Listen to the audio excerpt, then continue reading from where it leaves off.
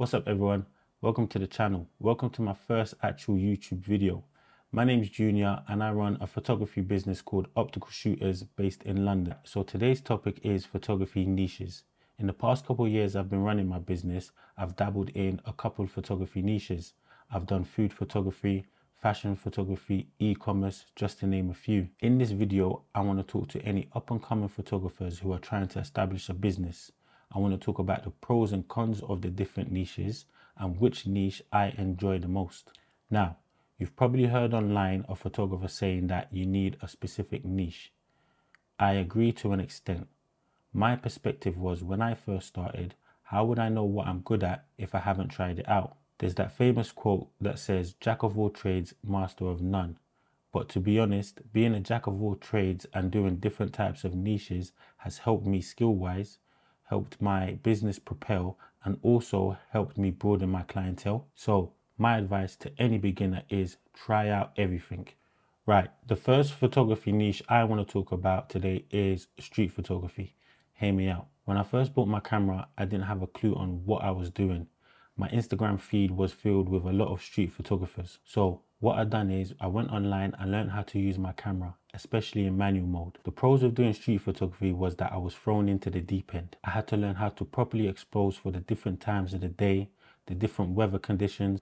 I also learned about composition and how to properly frame an image. I also learned how to use my camera body, its lens, the settings in full, just so I can get some good results. Now, like everything, there are cons.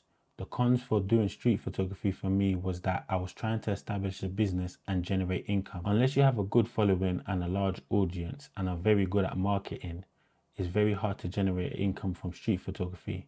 You're going to have to sell products like prints of the shots that you take when you're out and about.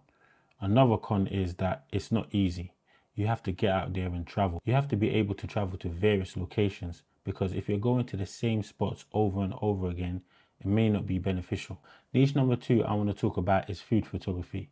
I've been able to shoot for restaurants and private labels. Shooting food photography can be daunting, but it can also be very lucrative if you do it correctly. To start off with food photography, 9 times out of 10, you'll probably only need the equipment that you already own because majority of the time you'll be shooting on location. This is in contrast with other niches that I may talk about because you may need your own space to shoot and get work done.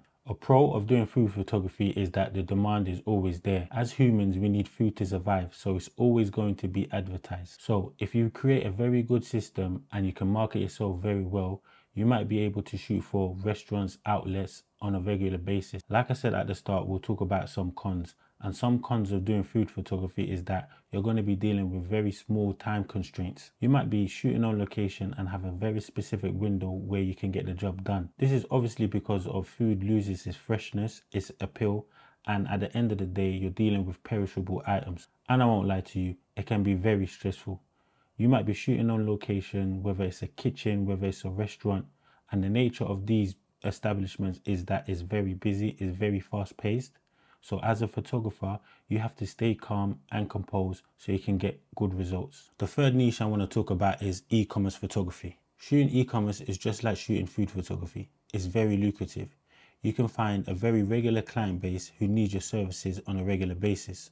For example, if you find a client who's a big player in its industry, although they may have their own media teams and marketing staff, they also outsource their work due to the quick turnaround needed for the many products they may sell.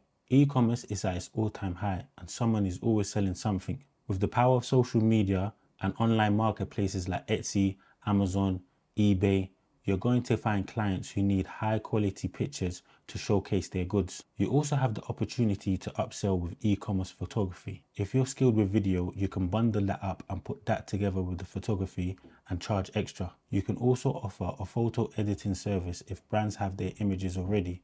That's just extra income for you. I have shot e-commerce for many different types of products, from jewelry to vitamins to clothing. The clients that you can reach are endless. Now, it's not all plain sailing with e-commerce photography. I can tell you that from experience. If you are just starting out, you are most likely a one person band. So if you have a high volume of work to deal with, This can be overtaxing and you can suffer a burnout. The work involved can also be very repetitive. It can reduce creative satisfaction for any photographers who are very artistic and passionate about their work. Quality control can also be a con. Maintaining a consistent quality across a large volume of work can also be challenging. You have to make sure that you have your own designated space to shoot in. This will help you stay consistent with your lighting and your composition because at the end of the day, client satisfaction is important. Okay, number four, let's talk product photography. Product photography is probably my most requested service. However, I don't work with everyone that inquires due to the capacity and other reasons that I'll mention later. Now, I like to separate e-commerce and product photography. E-commerce photography is mostly shot on a white plain background for websites and online marketplaces, whereas product photography are a more creative stylized shot which can be used for social media, physical marketing materials, or just marketing campaigns in general. I got the idea to dive into product photography because like everywhere else in the world, in the UK, we had a lockdown. I had a spare room to shoot in, so I thought why not? It was also convenient for myself and my clients because they can just send their products through the post at ease. Now, the demand for high quality images are very in demand. If you have a very eye-catching style, you can attract a lot of clients. I have shot for companies which sell products like air freshener, items like sunglasses, even honey. In terms of pros and cons, I would say they're very similar to what I've mentioned with e-commerce photography. But in addition to the cons I've mentioned, I would say you need to have a very creative mind. You will have to be very active in terms of looking up different trends and different styles. You will always have to be finding inspiration too. You also probably need to spend money on sourcing backdrops, props, and making sure these are updated regularly. You don't want to be making the same style of images for your different clients. Another thing you will need to think about is your time. You are more likely going to be spending more time in the edit chair. Product photography will need more manipulation done in post-production rather than a basic edit needed for e-commerce photography. Last but not least, number five is lifestyle photography. Now, not to brag and just to be transparent, this niche has been my most lucrative and most consistent service I offer. I read somewhere online that customers are 60% more likely to buy from a company if they see a picture in their search results. A lifestyle image can communicate to customers how the product they're searching for will look or feel on them. Because of its popularity, a lot of brands want to showcase their products in this way. So photographers who know how to shoot like this are very much in demand. With lifestyle photography, you can get into a wide range of industries you can shoot for, whether it's someone applying perfume on their skin or someone wearing an expensive watch. You can find and market yourself to a number of diverse clientele. Myself personally, I find it a lot easy and less time consuming to edit a workflow of lifestyle photography images. Now, I wouldn't be a real one if I didn't mention some negatives that can play a part. The competition is very high with the way social media is right now with TikTok, Reels, Snapchat, video content is always being pushed. I have personally been on a shoot with a brand to shoot lifestyle, but they also hired someone else to shoot the same content with their iPhone. Some companies may want to go down this route because it's more quicker and cheaper for their brand. For someone who's a homebody and an introvert in general, a negative of doing lifestyle photography is that you're always traveling. If you're always getting booked and always getting consistent work, and you have a family, for example, you'll be away from them most of the time. So any photographers who are looking to get into this, make sure you factor that in and be ready to sacrifice your time with your loved ones. There we have it. Five photography niches that up and coming photographers need to be trying out. Bear in mind, this list is what I've managed to explore over the years with a couple of other niches like fashion, events, behind the scenes, and a couple of them more. The point is, just begin.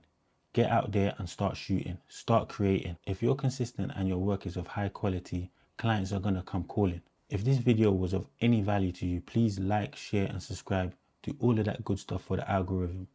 I'll see you on the next one.